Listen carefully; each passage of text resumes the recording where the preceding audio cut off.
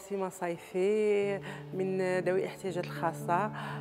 spécialité lancer disque et poids classement F 57 بطلة عالمية خمس مرات وبطلة بارالمبية مرتين.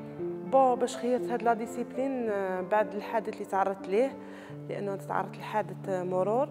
بعد الحادث الوالد تاعي دخلني sport loisir. ومن بعد اكتشفوا في, في يعني مدربين بأنه عندي هيئة أني نكون قادرة نكون بطلة في المستقبل.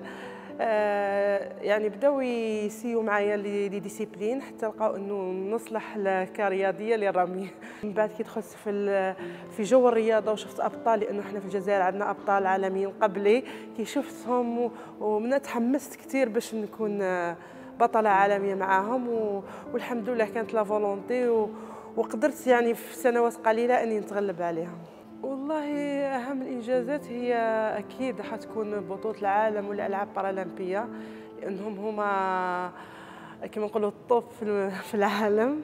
بطولة العالم كانت عندي خمس ألقاب بطولة العالم اللي هي بطولة العالم 2011 نيوزيلندا ميدالية ذهبية وعندي 2013 فرنسا ميدالية ذهبية بطولة العالم 2015 قطر ميدالية ذهبية في رمي القرص و2017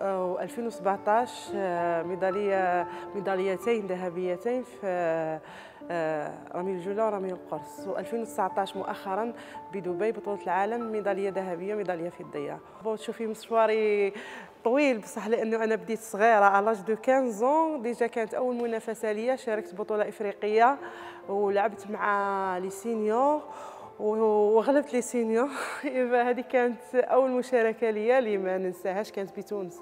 وكل الالقاب تاعي والانجازات حققتها معها مع المدرب سعدون حسين.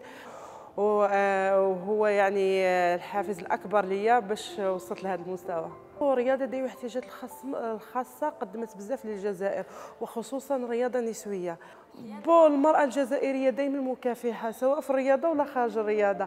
وحنايا يعني في الرياضة يعني ماهيش حاجة سهلة باش توصلي لمستوى والأصعب إنك تحافظي على المستوى خاصة دوكا بما أني أم وراني نمارس رياضة ماهيش حاجة سهلة باش تكون توفقي بين البيت والرياضة حتكون حاجة صعيبة. حاليا عندي يعني مبازية إن شاء الله على طوكيو بإذن الله إن شاء الله نحققوا نتائج جيدة إن شاء الله ودائما يبقى اسم صيفي نسيمه إن شاء الله في المستوى.